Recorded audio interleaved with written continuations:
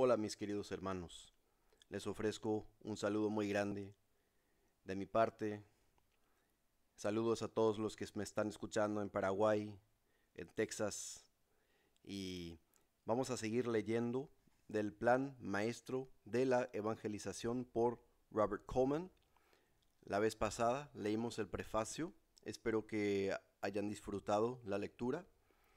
Hoy vamos a leer la primera parte del capítulo 1. Es un capítulo un poquito más largo, por eso lo voy a dividir en dos partes para que sea más fácil para escuchar en una manera bien tranquila y realmente prestar atención. Muy bien. Capítulo 1. Selección. Escogió a doce de ellos. Lucas 6, 13. Los hombres fueron su método. Todo empezó con Jesús llamando a unos pocos hombres a seguirle. Esto reveló inmediatamente la dirección que su estrategia evangelística iba a tomar.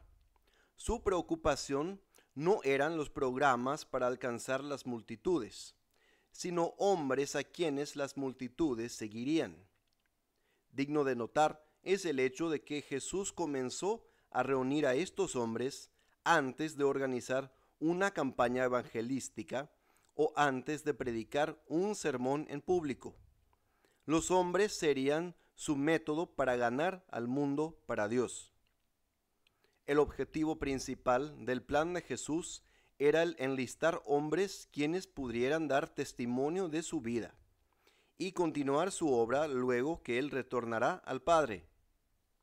Juan y Andrés fueron los primeros en ser invitados al dejar Jesús la escena del gran avivamiento de Juan el Bautista en Betania. Al otro lado del Jordán, Andrés por su parte trajo a su hermano Pedro. Al día siguiente Jesús encontró a Felipe en camino a Galilea y Felipe encontró a Natanael. No hay evidencia de apresuramiento en la selección de estos discípulos, solo determinación. Santiago, el hermano de Juan, no es mencionado como uno del grupo, sino hasta que los cuatro pescadores son llamados de nuevo varios meses después, junto al lago de Galilea. Poco tiempo después, Mateo es llamado para seguir al Maestro, mientras pasaba Jesús por Capernaum. Los detalles concernientes al llamado de los otros discípulos no son registrados en los Evangelios, pero se cree que todos ocurrieron en el primer año del ministerio del Señor. ¿Cómo uno podía esperar estos primeros esfuerzos en ganar almas tuvieron poco o ningún efecto inmediato sobre la vida religiosa de su día? Pero eso no importaba mucho. Según vino a ser, estos primeros pocos convertidos del Señor fueron destinados a ser los líderes de su iglesia, la cual iría con el Evangelio a todo el mundo y desde el punto de vista de su propósito fundamental, el, el significado de sus vidas se sentiría por toda la eternidad. Y eso es lo único que cuenta. Lo que más nos intriga acerca de estos hombres es que a primera vista no nos impresionan como hombres claves. Ninguno ocupaba lugares prominentes en la sinagoga y ninguno pertenecía al sacerdocio levítico. En su mayoría eran obreros comunes, probablemente sin entrenamiento profesional más allá de los rudimentos del conocimiento necesario de sus vocaciones. Tal vez algunos de ellos procedían de familias con considerables recursos, tal como los hijos de Zebedeo, pero ninguno de ellos podía ser considerado como rico no poseían títulos académicos en las artes y filosofías de su época. Al igual que su maestro, su educación formal muy probablemente consistió solo de las escuelas de las sinagogas. La mayoría de ellos creció en la, en la sección pobre del país, alrededor de Galilea. Aparentemente, el único de los doce que vino de la región más refinada de Judea fue Judas Iscariote. Por cualquier estándar de cultura sofisticada de aquel entonces, tanto como contemporánea, De seguro, ellos serían considerados como una colección de almas harapientas. Uno se pregunta, ¿cómo podría Jesús usarlos? Ellos eran impulsivos, temperamentales, se ofendían fácilmente y tenían todos los prejuicios del ambiente a su alrededor. Para resumir, estos hombres seleccionados por el Señor para ser sus asistentes representaban, representaban lo más común de la sociedad de su época. No eran el tipo de gente del cual uno esperaría que ganasen el mundo para Cristo. Pero sin embargo, Jesús vio en ellos, en estos hombres sencillos, el potencial de liderazgo para el reino. Eran en verdad sin letras y del vulgo, de acuerdo del estándar del mundo, como dice en Hechos 4.13. Pero ellos estaban deseosos de aprender, aunque con frecuencia eran errados en sus apreciaciones y lentos para comprender las cosas espirituales, eran hombres honestos, siempre listos a confesar su necesidad. Sus manerismos pueden haber sido torpes y sus habilidades limitadas, pero, con la excepción del traidor, todos tenían un gran corazón. Lo que es tal vez más significativo acerca de ellos es su sincero anhelo de Dios y las realidades de su vida. La superficialidad de la vida religiosa a su alrededor no había frustrado sus esperanzas en la venida del Mesías. Estaban cansados de la hipocresía, de la aristocracia gobernante. Algunos de ellos ya se habían sumado al avivamiento de Juan el Bautista. Estos hombres estaban buscando a alguien que les guiara en el camino de la salvación. Tales hombres, dóciles en las manos del Maestro, podrían ser moldeados para reflejar una nueva imagen. Jesús puede usar a cualquiera que quiere ser usado. Eso es un clave muy importante, mis hermanos. Jesús puede usar a cualquiera que quiere ser usado. Al recalcar este hecho, sin embargo, no queremos fallar en ver la, la verdad práctica de cómo Dios lo hizo. He aquí la sabiduría de su método. Y al observarlo, nos volvemos de nuevo al principio fundamental de concentrarse en aquellos que quería usar. El mundo no puede ser transformado a menos que individuos sean transformados. Y los individuos no pueden ser cambiados excepto en la medida de que son moldeados en las manos del maestro. La necesidad es clara, no solamente de seleccionar unos pocos ayudantes, sino también de mantener el grupo lo suficiente pequeño para poder trabajar efectivamente con ellos. Consecuentemente, a medida de que los seguidores de Jesús aumentaron, se hizo necesario en la mitad de su segundo año de ministerio limitar la compañía selecta a un número más manejable.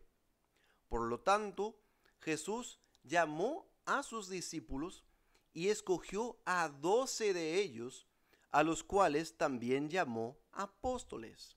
Vean Lucas 6, 13 al 17 y Marcos 3, 13 al 19.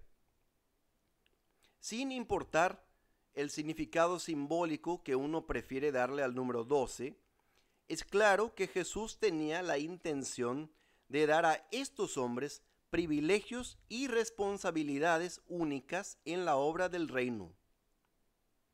Esto no significa que la decisión de Jesús de tener doce apóstoles excluía a otros a seguirle, porque como sabemos, muchos más fueron contados entre sus asociados, y algunos de estos llegaron a ser obreros muy efectivos en la iglesia. Los setenta, Marcos, el escritor del Evangelio, Santiago, su propio hermano, son ejemplos notables de esto. Sin embargo, debemos reconocer que la prioridad dada a aquellos fuera de los dos dada a aquellos fuera de los doce era menor. La misma regla puede ser aplicada al contrario. pues dentro del selecto grupo apostólico, Pedro, Santiago y Juan parecían disfrutar de una relación más especial con el Maestro que la de los otros nueve. Solo estos pocos privilegiados son invitados al cuarto de la enferma hija de Jairo. Solo ellos van con el Maestro y presencian su gloria en el monte de la transfiguración. Y entre las sombras de los olivos en Getsemaní, a la luz de la luna llena, la noche de Pascua, estos miembros del círculo íntimo esperaban cerca a su Señor mientras él oraba. Tan evidente es la preferencia dada a estos tres que si no hubiera sido por la abnegada encarnación en la persona de Cristo, bien hubiera podido precipitar resentimientos por parte de los otros apóstoles. El hecho de que no se registró nada sobre los discípulos quejándose de la preeminencia de los tres, aunque murmuraron acerca de otras cosas, es prueba de que donde se muestra preferencia en el espíritu correcto y por la razón correcta, no se causan ofensas. Todo esto ciertamente impresiona a uno por la manera deliberada en que Jesús proporcionó su vida a aquellos a quienes quería entrenar. Esto también ilustró gráficamente un principio fundamental de la enseñanza que estando todo lo demás en equilibrio, mientras más concentrado es el tamaño del grupo que, que se está siendo enseñado, mayor es la oportunidad para una instrucción efectiva. Jesús dedicó la mayoría del resto de su vida sobre la tierra a estos pocos discípulos. Él arriesgó literalmente todo su ministerio con ellos. El mundo podía ser indiferente hacia él y aún así no lograr vencer su estrategia. Ni siquiera tuvo gran preocupación cuando sus seguidores rindieron su lealtad cuando fueron confrontados con el verdadero significado del reino de Dios. Pero no podía permitir que sus discípulos más cercanos perdieran de vista su propósito. Ellos debían entender la verdad y ser santificados por ella. De otra manera, todo estaría perdido. Por eso él oró, no por el mundo, sino por los pocos que Dios le había dado del mundo. Todo dependía de la fidelidad de ellos si el mundo iba a creer en él por palabra de ellos. Vemos que Jesús se enfocaba mucho en los pocos daba más tiempo a los que estaban en su círculo más, más cercano. Vamos a seguir. Pero sería errado, sin embargo, asumir sobre la base de lo que se ha enfatizado aquí, que Jesús descuidó las masas. Ese, ese no fue el caso. Jesús hizo todo lo que se le puede pedir a un hombre y aún más para alcanzar a las multitudes. Lo primero que él hizo al comenzar su ministerio fue identificarse valientemente con el gran avivamiento de masas de su día, causado por el bautismo a manos de Juan. Y luego alabó generosamente la obra del gran profeta Juan el Bautista. Continuamente predicó a las masas que seguían su ministerio de milagros. Él los enseñó los alimentó cuando estaban hambrientos, sanó a sus enfermos y echó fuera demonios entre ellos, bendijo a sus niños. A veces pasó todo el día ministrando a sus necesidades, hasta el punto de que tenía que no tenía tiempo para comer, como dice Marcos 6:31. En toda manera posible, Jesús manifestó a las masas humanos, humanas una preocupación genuina. Estas fueron las personas que Él vino a salvar.